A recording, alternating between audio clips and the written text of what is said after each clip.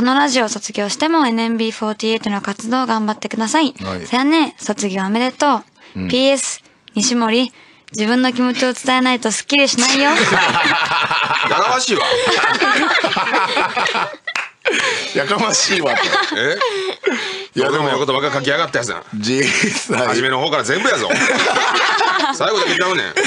どうでもええこと、どうでもええことじゃないやんかそれ。ちゃんと言わないと今日でおしまいですよ。せやで。いや初めの方からそんなに別にもう分かった分かったっていうことばっかりやこれ。いやちゃうからその PS の部分な、お前的には。そのねさやねんもそれすっきりせえへんみたいな、すっきりせえへんまま卒業するのもあれやろうし。うん。何そのスッキリせえへんっていうのはいやだからそのすっきりせえへんやんか。気持ちがな、鴨川え鴨川。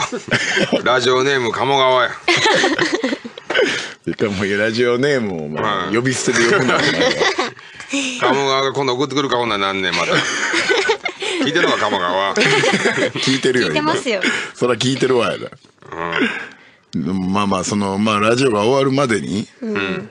何か心の整理がついてな言っていただ心の整理は初めからついてるからだからなんか今日あの、ラジオの前もお仕事一緒だったじゃないですか。はい一緒やつ一緒やってたまにたまなんにね。かね、よそよそしい感じだったんです。あそうですか。い。やそんなよそよそしくないしこんなもんでしょでも。聞いてるのか鴨川は。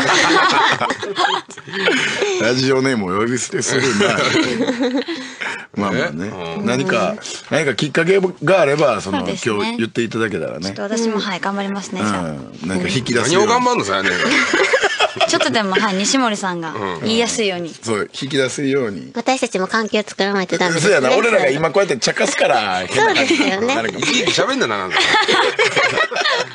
あなたみたいなもんが生き生き 金分やっとけ。はい次